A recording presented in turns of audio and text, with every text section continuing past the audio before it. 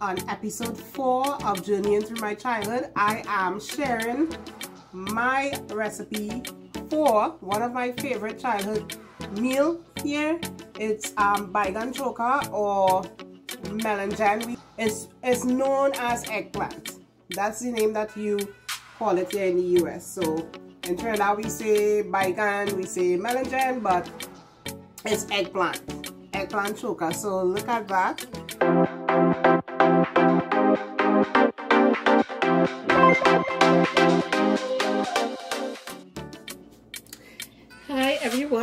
Welcome and welcome back. If you haven't been here before, please like and subscribe and share my video. And if you've been here before, thank you so much for subscribing and coming back to see another video. So in this episode of Journeying Through My Childhood, I am going to be doing a baigan choka.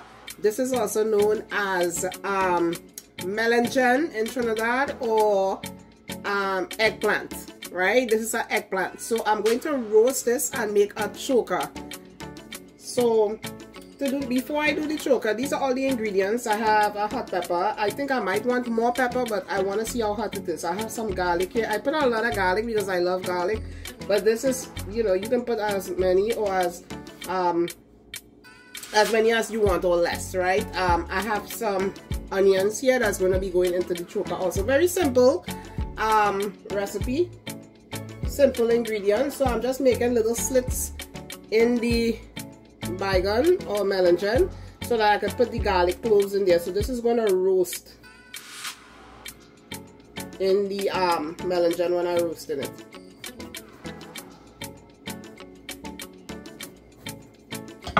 So as you see I have a lot of garlic cloves so I have to put enough holes in there to get all of them in so we just stuffing in the garlic cloves inside of the melanjan. And these spaces that are cut, you're gonna just stuff them in there.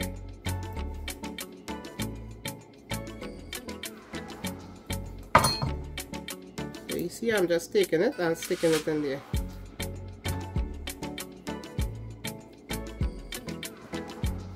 As I say, you don't have to use so many garlic. I just love garlic.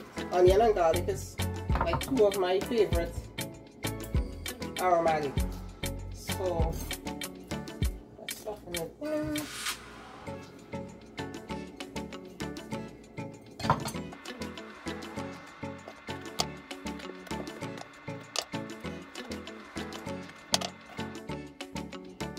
It's time to roast the baigan. I'm just putting it on my stove, stove top here. So what you're trying to achieve with this, you want to get this all nice and charred on the outside. But what is the main thing that's going to happen? This is going to start to kind of collapse. Like it's going to start to get kind of soft and soggy. And that's when you know it's fully roasted. See right now it's nice and firm. Once I start roasting, it's going to start, you know, getting kind of limp. We're gonna roast one side and then I'm gonna flip it over. So I'm gonna flip it over and let it roast on this side.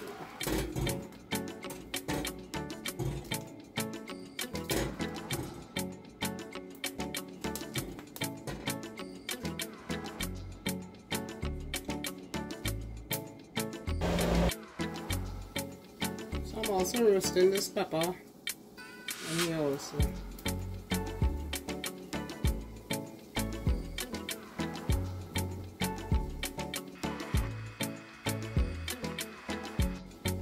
you see how the baigan started getting soft?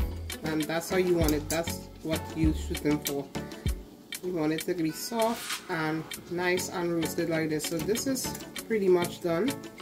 I'm going to remove it off of this rack Um, I'm gonna let the pepper finish roasting. And then we're gonna cut this open and I'll show you the next step.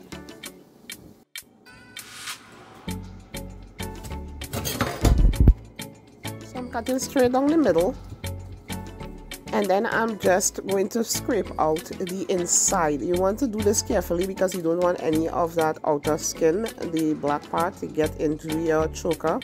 So you're going to take a spoon and just carefully scrape it out.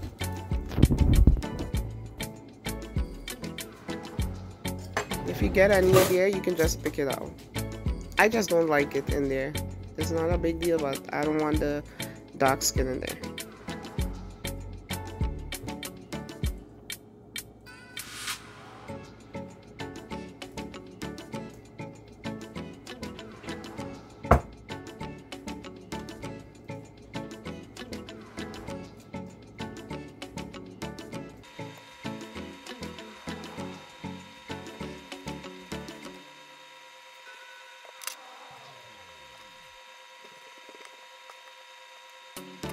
I have my baigan in here. I have uh, the hot pepper that I had roasted.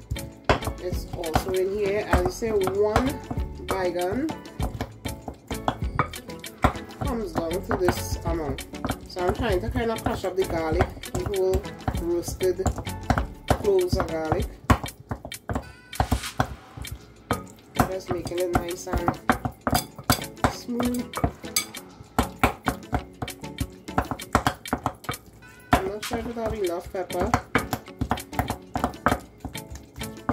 So I, as you can see, I got out all of that charred skin from in there.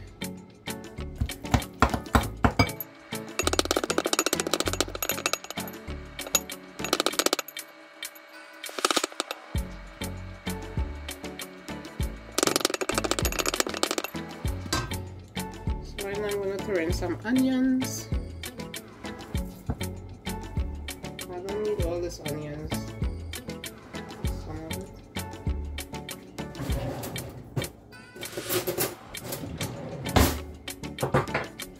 Salt to taste.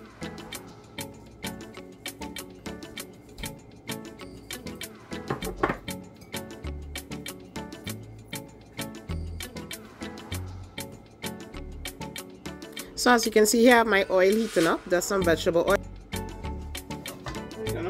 this oil in there and this is what it's cooking.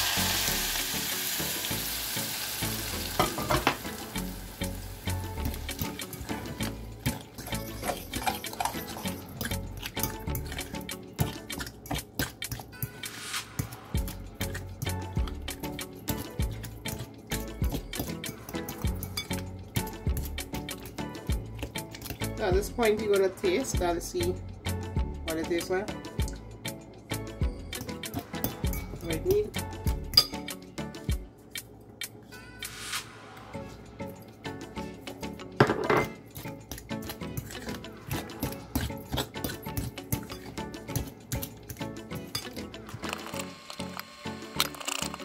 Guys, when I tell you, in here smells so good. This is my finished choka. It is so delicious. I can't wait to eat this. I made some sada roti with it. So this is my plate. And I'm going to taste it. And I'm going to let you guys know for real, for real, how this tasted. This is so good. And oh my God. Okay guys, so I'm going to dig into this baigan choka. And you guys will see I'll let you know how it tastes. I like it spicy, so I put one pepper, and that was enough because it was just one baigan. So I am just so excited about this because this is one of my favorite, favorite, favorite childhood meals. Really good. And it's nice and spicy. I have the onions. It's just so similar to the um, tomato choka, the same ingredients. Just the baigan is different. They're really good.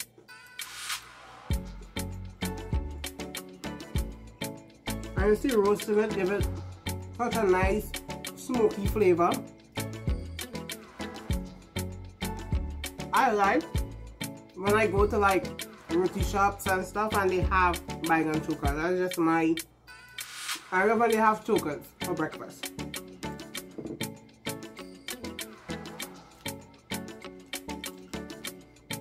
and this is totally vegan. So if you're vegan you don't need meat. Eggplant is the number one go-to.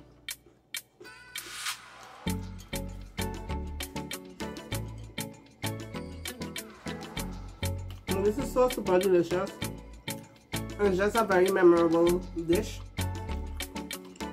Um i'll be honest this is my first time making this in something in the states I ate it from a lot of different people, like, you know, if I go to restaurants or from people who made it, but I haven't made this in a long time. But since I'm journeying through my childhood, I said, let me make one of my favorites.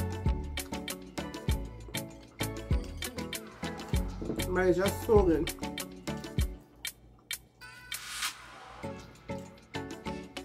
So guys, thank you so much for watching. If you like a lot of pepper, you add some pepper sauce. This is good enough for me because it's almost bedtime. I don't want to have heartburn, so I will do it all too much pepper. Now, my uncle used to hold this used to eat the raw pepper. I just bite it while he eating.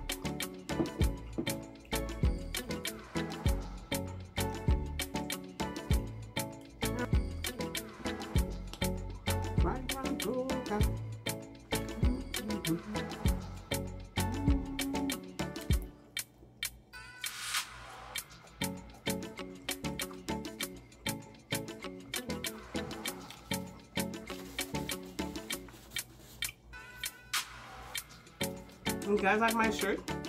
I have a whole bunch of like Trinidadian gear, Caribbean gear. This is not one of the Caribbean gear. I have a lot of the Caribbean gear on Etsy. I'll leave my link in the description.